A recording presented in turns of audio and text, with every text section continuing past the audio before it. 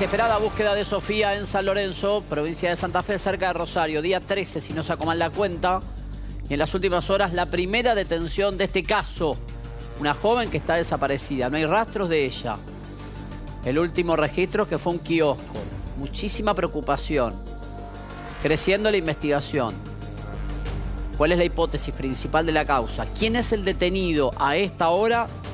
¿Y cuál es la motivación de la detención? ¿Cuál fue la pista que guió a este primer detenido? Sobre todo teniendo en cuenta que no aparece Sofía, que no hay rastros de ella.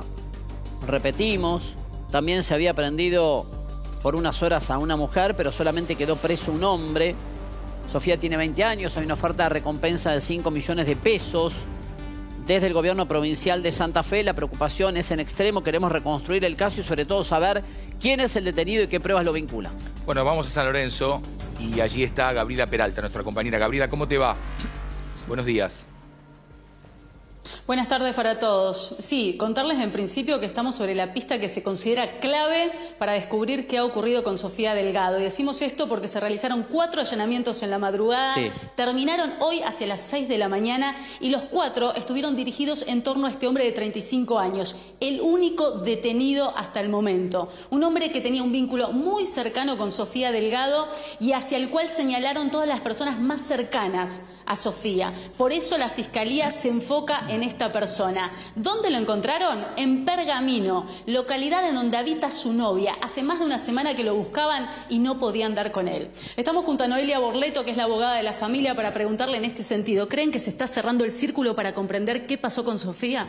Buenos días, ¿cómo estás? Sí, entendemos que, bueno, hemos avanzado un poco en cuanto a las personas a investigar y el hecho de lograr una detención, en realidad me confirma el fiscal que fueron dos detenciones de este masculino y su novia, eh, nos aproxima un poco al paradero de ella, entendemos eso, pero bueno, realmente no tenemos muchos más datos, está en análisis el material que se secuestró en los allanamientos eh, y bueno, algunas medidas de prueba que va a diligenciar el doctor, supongo, en el transcurso de las horas. La preocupación máxima tiene que ver también con que entre los elementos hallados se encontró una marca que sospechan que es de sangre y por eso se están realizando en este momento algunas pericias. Los dejo en contacto con Noelia Borleto.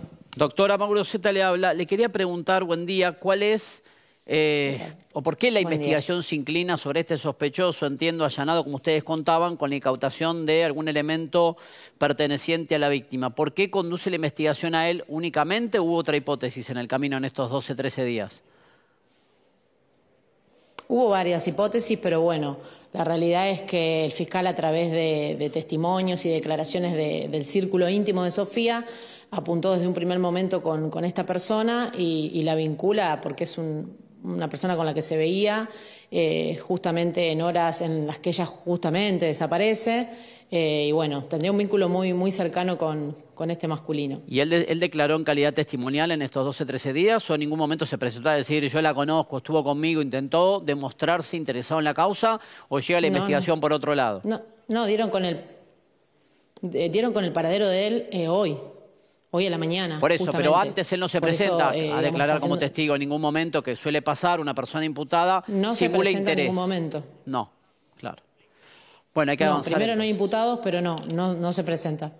Exacto, no, no se presentó. Recién fue aprendido esta mañana junto con su novia y bueno, eh, en este momento está siendo trasladado a, la ciudad de San Lorenzo, entiendo, para que el fiscal tome las declaraciones que correspondan o que considere pertinentes para esclarecer un poco el paradero de, Sofía. Mm, esa mancha que contaba nuestra colega Gabriela, que fue levantada por los peritos, eh, va a tener tiempo, me imagino, de peritaje, pero ustedes hacen una apreciación en particular, ¿es una mancha en una pared, en una cama, en el piso, en un auto? Es una mancha en una sábana, en una sábana eh, y también se recogió eh, cabellos en un domicilio allanado que estaría vinculado a esta persona. Si bien no es el domicilio de esa persona, estaría vinculado con él directamente. Eh, así que bueno, en el transcurso del día supongo que se van a diligenciar también las medidas para el análisis de ese material, para determinar en primer lugar si efectivamente se trata de, de sangre en las sábanas y también para luego cotejarlos llegado el momento, si oportunamente corresponde, con, con, los, con el material biológico de Sofía o alguien de su familia. Mm. ¿La audiencia imputativa va a ser hoy? No tenemos eh, ese dato que haya audiencia imputativa por el momento. Bueno, a tener en cuenta entonces esta primera detención, la novia liberada, ¿no? Sí. ¿La, la liberaron a la novia porque lo detuvieron a los dos? A ver. ¿O siguen los dos No, detenidos? no, ah, me acaba de confirmar el fiscal justamente en momentos en que la conductora se estaba comunicando con ustedes que son dos detenidos y que Ah, la novia bien, no sí. estaría en calidad de, de liberada. O sea, estaría detenida, exactamente, Y- ambos. Y doctora, lo, lo último, porque este hombre eh, estaba en pergamino, entiendo. Eh, ¿Se pudo determinar, no sé si a través de- del celular y demás, si estaba este, en San Lorenzo al momento de la desaparición, el día que desaparece Sofía? En la mañana de hoy recién pudieron secuestrar todos los dispositivos Ah, informáticos eh, que tenía esta persona. Entonces, eh, justamente creo que es materia de investigación en estas horas determinar si los impactos de antena del celular de Sofía podrían ser coincidentes con los de esta persona que fue aprendida hoy. Bien. Eso entiendo que se va a develar en el transcurso del día de hoy o mañana cuando se tenga un informe sobre los peritajes de, de estos dispositivos que se secuestraron, además Bien. pendrives y también por un trascendido de otros medios digitales, tengo entendido que se secuestraron material de, de juguetes sexuales de sadomasoquismo. Eso lo tengo, digamos, por otra fuente, pero bueno, estamos en contacto con el fiscal a ver si nos confirma este dato o no. Doctora, muchas gracias. Vamos a estar atentos y vamos a seguir, por supuesto, este, este tema. Gracias, Gabriela, nuestra compañera allí también. Un beso Gracias a ambas. a ustedes. A ustedes, gracias.